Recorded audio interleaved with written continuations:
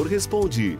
Oferecimento: Instituto de Radiologia Presidente Prudente. Visare Hospital de Olhos. Sua visão levada a sério. Oncocare. Há cinco anos, a nossa maior especialidade é a sua vida. E Laboratório Marcelini. Especializado no teste de Covid-19. E a outra pergunta, olha só, é sobre a técnica Sculpt Lips que deixa os lábios esculpidos com volume e cor. E quem vai falar sobre essa técnica é a Fernanda Moreno. Boa tarde, Fernanda.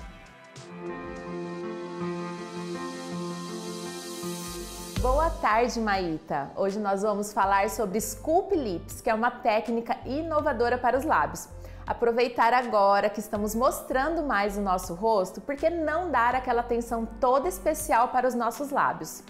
Ela une duas técnicas que toda mulher adora. Uma é o preenchimento labial, que traz volume aos lábios, e a nanolips, que traz cor aos lábios.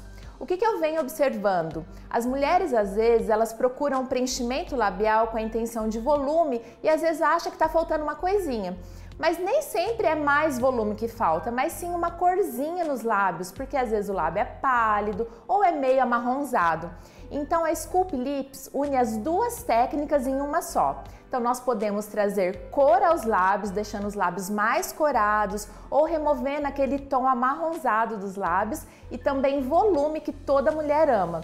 E não precisa ser aquele volume super exagerado, dá para fazer só um efeito de hidratação nos lábios e deixar os lábios lindos e isso acaba harmonizando o rosto como um todo.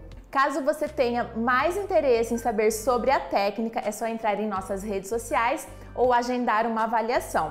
Muito obrigada, Maíta, espero ter colaborado para tirar as dúvidas de vocês.